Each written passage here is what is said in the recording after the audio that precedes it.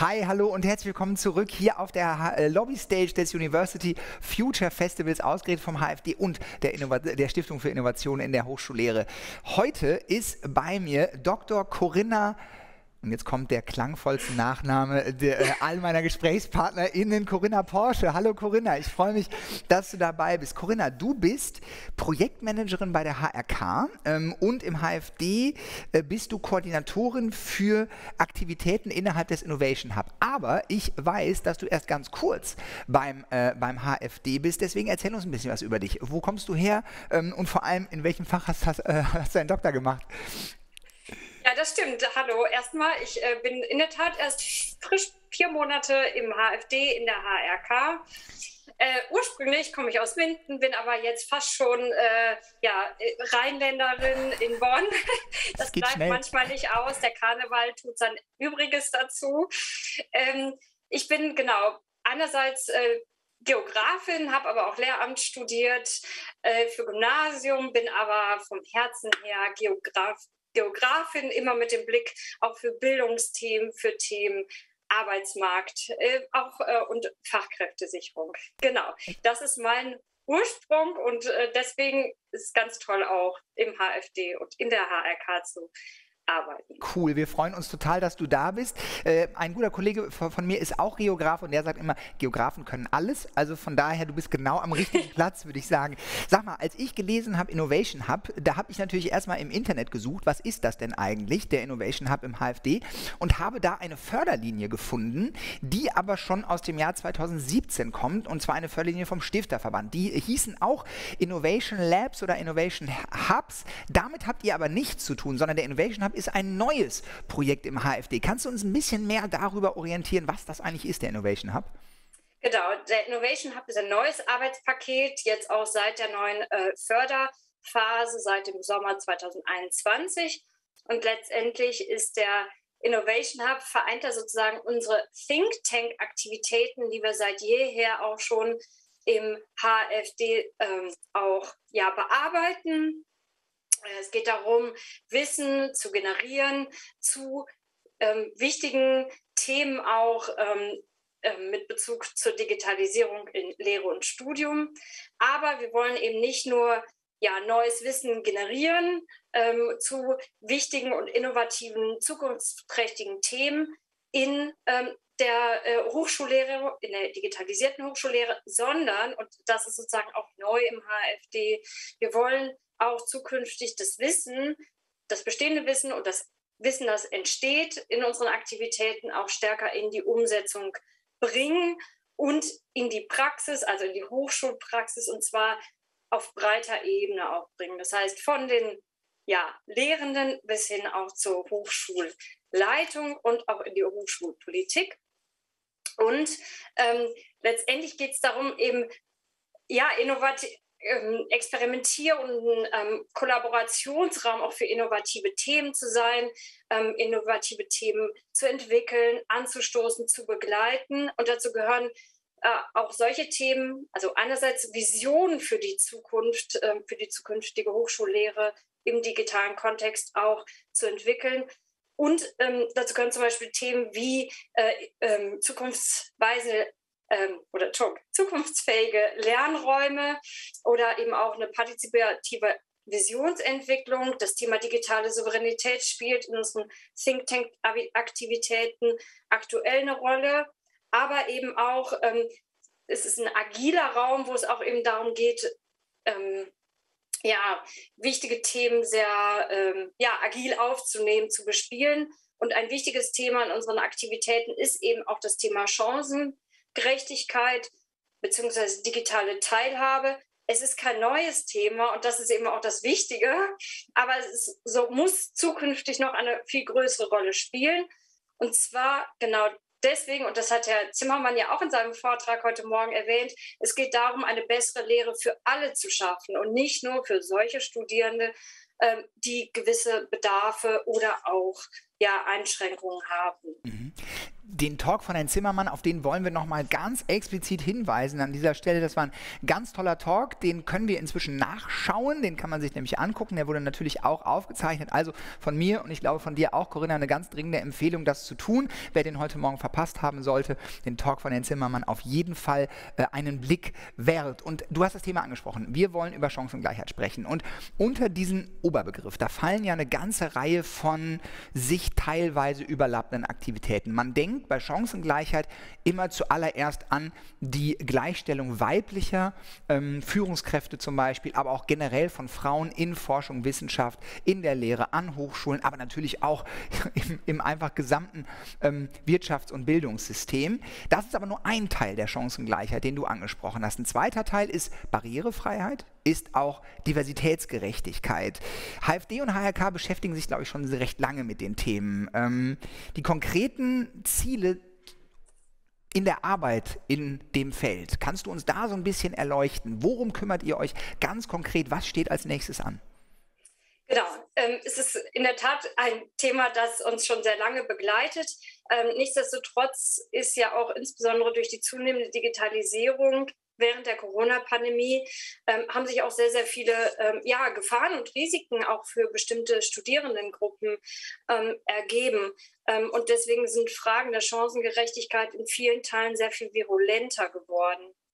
Das betrifft zum einen, ähm, wir fokussieren uns zum einen im HFD-Kontext und im Innovation Hub ähm, unter dem Stichwort digitale Teilhabe zum einen auf Studierende, die auch aus einem bestimmten soziokulturellen Kontext, die zum Beispiel nicht über die Möglichkeiten verfügen, ein, äh, oder über die technischen Ausstattungen verfügen, ähm, ja, gleichberechtigt auch digitale Angebote ähm, wahrzunehmen, zum Beispiel wenn ein WLAN fehlt, wenn ein Computer fehlt oder wenn auch überhaupt ein Raum zu Hause fehlt, ähm, in dem ähm, man überhaupt auch die digitalen Angebote nutzen kann. Das ist sozusagen die eine Perspektive, die wird vor allen Dingen im CHE vom Kollegen Neubert auch betreut.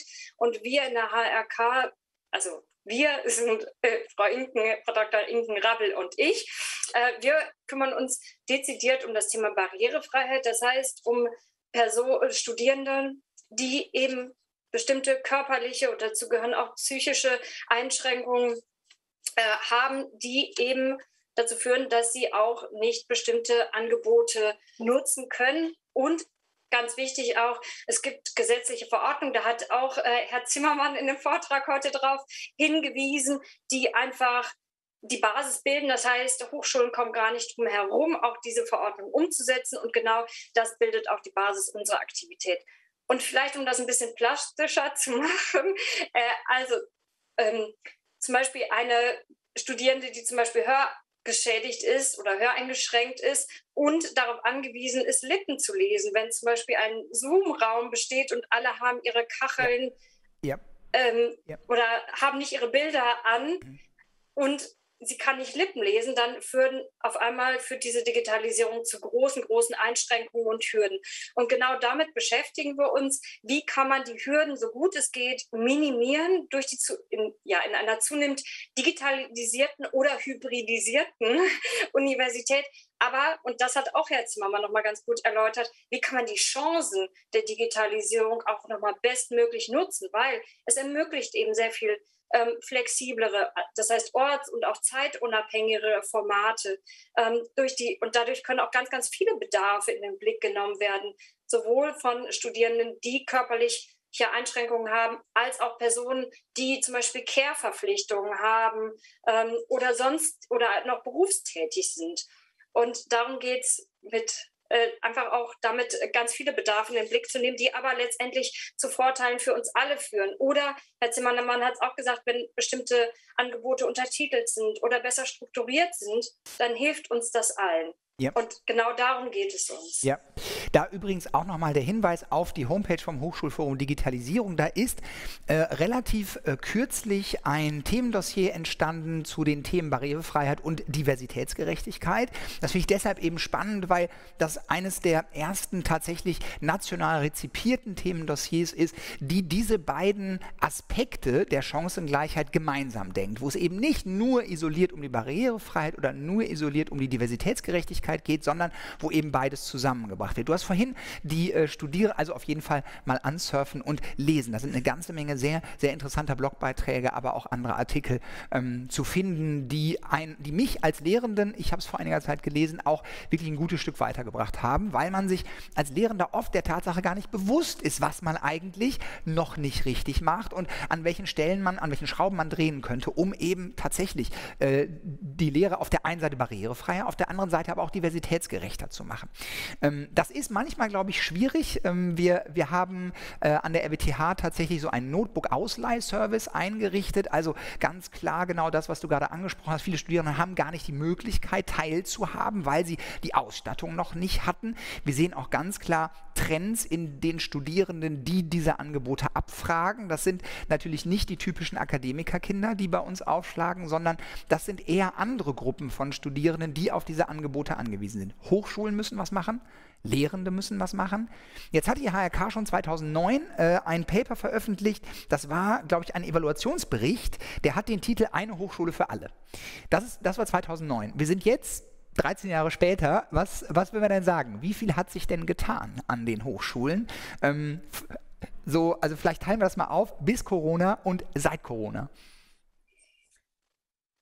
Ja, es ist sicherlich eine Frage, die auch nicht ganz so einfach zu beantworten ist, weil man das ähm, mehrdimensional denken muss. Ich denke, es ist schon eine ähm, große Sensibilisierung auch eingetreten und ich habe schon auch das Gefühl, dass auch dieses, diese Empfehlung auch einen großen Anklang gefunden hatte und einen Eingang in die Hochschulen. Äh, nichtsdestotrotz eben nach Corona und mit der Digitalisierung sind nochmal ganz neue Hürden entstanden.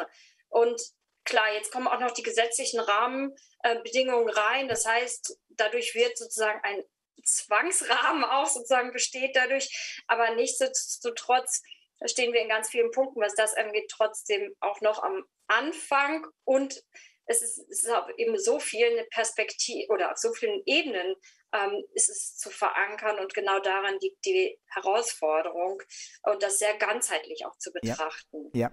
das ist äh, ein guter Hinweis. Wir sprechen immer über das Web-Zugänglichkeitsgesetz, wenn wir über die Frage der Barrierefreiheit sprechen. Ich glaube 2016 verabschiedet. Ähm, auf jeden Fall mal anschauen. Da steht für uns als Hochschulen die gesetzliche Verpflichtung drin, eben tatsächlich Anstrengungen zu unternehmen, um auch unsere Angebote barrierefrei machen zu können. Ich glaube, die Hochschulen haben, äh, haben haben ähm, ihre Gesäße hochbekommen. Wir sind dabei, äh, an ganz vielen Stellen in den Lernplattformen, in den Online-Angeboten Barrierefreiheit umzusetzen. Angekommen, hast du gerade gesagt, sind wir noch nicht. Wenn wir da aber sprechen über tatsächlich den weiteren Rahmen der Diversitätsgerechtigkeit, dann wird klar, wie heterogen das ist. Du hast gerade von den, von den, von den ähm, taubstummen Studierenden gesprochen, die möglicherweise Probleme beim Lippenlesen haben, wenn in einer Videokonferenz die Kacheln ausgeschaltet werden. Wir haben auf der anderen Seite, vor einiger Zeit ähm, hatte ich ein Gespräch mit einer autistischen Studierenden, die gesagt hat, das ist für mich total gut, weil ich keine Gesichter mehr sehen muss und mich diese Gesichter einfach so stark ablenken von dem, äh, worauf ich mich konzentrieren äh, soll, dass, ich, dass es mir sehr schwer fällt, in einer Live-Umgebung an einer Veranstaltung teilzunehmen und es ist viel einfacher, mit den schwarzen Kacheln zu arbeiten. Also da sieht man schon, wie schwierig das ist. Auf der einen Seite schwarze Kacheln, eine totale Katastrophe, auf der anderen Seite ein, ein echter Segen für die Studierenden. Also ein wirklich sehr, sehr weites Feld. Was plant denn das HFD im Innovation Hub für Aktivitäten, um diese Themen zu adressieren? Also ein wichtiger Baustein ist einfach die Sensibilisierung, genau für die unterschiedlichen Hürden, Risiken und auch Chancen und auch, dass eben auch bestimmte Konflikte, Zielkonflikte entstehen, die du eben gerade auch erwähnt hast. Ähm, also das heißt, die Sensibilisierung, die äh, betreiben wir zum Beispiel über Blogbeiträge, Hangouts, ähm, wo zum Beispiel, wo wir genau dieses Thema Diversität erleben, an, in einem Hangout auch am 30. November ähm, dann auch durchführen werden. Aber es geht auch darum, Workshops durchzuführen und Expertinnen-AGs. So haben wir zum Beispiel auch im Bereich Barrierefreiheit eine AG aus ähm, oder eine Kommission aus Expertinnen und Experten eingerichtet, wo es auch wirklich darum geht, konkrete ja, Maßnahmen und Werkzeuge zu entwickeln, um das Thema strukturell in die Hochschulen zu tragen. Aber auch ähm, da geht es eben auch äh, insgesamt um die Sensibilisierung. Und da sind wir natürlich auch auf die Community angewiesen, in den Dialog zu treten, ähm, zu vernetzen, auch gute Beispiele aufzuzeigen, nach vorne zu tragen ähm, und auch die, die Praxis dann auch entsprechend, die Praxiserfahrung zusammenzubringen. Das heißt auch hier nochmal der Aufruf an euch und Sie alle da draußen, macht mit. Der äh, AfD Hangout am 30. Äh, November ist die erste Möglichkeit, sich zu beteiligen. Ich danke äh, allen Zuschauern und, und Zuschauern. Wir sehen uns in der nächsten Lobby Stage wieder und jetzt viel Spaß im Hauptprogramm. Tschüss. Tschüss.